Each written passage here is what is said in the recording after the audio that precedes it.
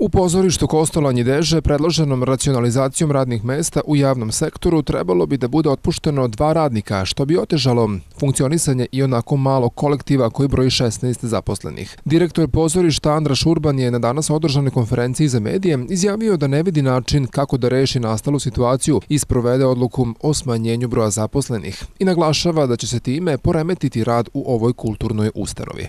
Svi oni su već i ovako opterećeni i naravno u poslednjih par godina, poslednjih dve, tri godine, veliko je koje kretanje u tom tehničkom sektoru pozorišta Kostolanji, jer ti ljudi to moraju da obavljaju te poslove e, otprilike za 25.000 e, e, dinara i jednostavno to više nije e, cifra za, za, za šta ljud, ljudima vredi to raditi, nije dovoljno da se e, preživljavaju, tako je uglavnom odlaze u inostranstvo ili pokušavaju naći neki e, bolji posao.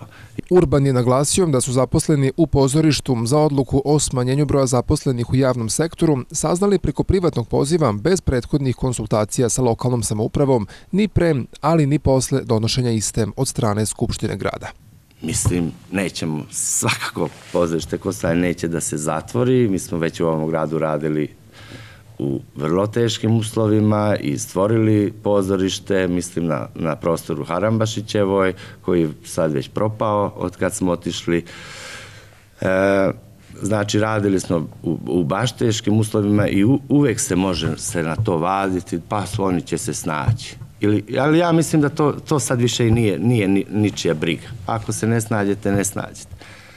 Mislim, ja u toj komunikaciji sa osnivačem, moje iskustvo je da, i to nije samo već ona pamfletska neka priča, nego bukvalno mi smo postali teret ovoj državi. Dobro, u svim novinama kulturni radnici govore o tome, ali, ali to svakodnevno osjećate na, na svojoj koži. Niko, niko nije tu da vam reši problem, nego kao da je to vaša briga. Kao da ste vi neki neprijatelj u tome koji kao vampir uzima uzima e, sredstva iz budžeta. A valjda nije to baš tako. Pozorište Deže Kostolanje uskoro će se susresti sa novim problemom, novcem koji će iz budžeta biti dodeljen putem konkursa za projekte u kulturi, od kojih će zavisiti i održavanje ovogodišnjeg festivala Dezire.